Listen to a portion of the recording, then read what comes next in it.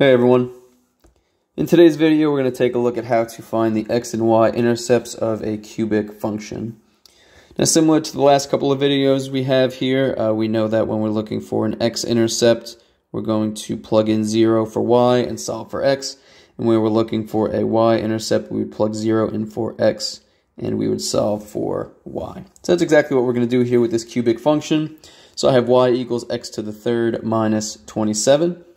So if I'm looking for the x-intercept, what I'm going to do is I'm going to plug in a 0 for y, and I'm going to solve for x.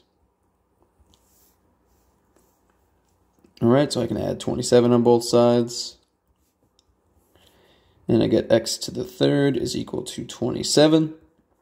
And then I would take the cube root on both sides, and I would get x equals 3. Okay, again, we can plug that in to make sure that it's a coordinate. So that would be the 0.3 comma 0, and that would be the x-intercept. Okay, if we're looking for the y-intercept, we would plug in 0 for x and solve for y. So we get y equals 0 cubed minus 27. Okay, substituting in 0 for x, and we get y equals negative 27. Sorry, negative 27 is what I meant to say.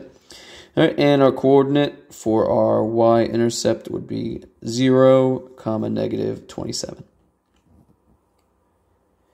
Okay, so again, the same procedure can be applied to pretty much any function. If you're looking for the x-intercept, you plug in 0 for y and solve for x. If you're looking for the y-intercept, you plug in 0 for x and solve for y.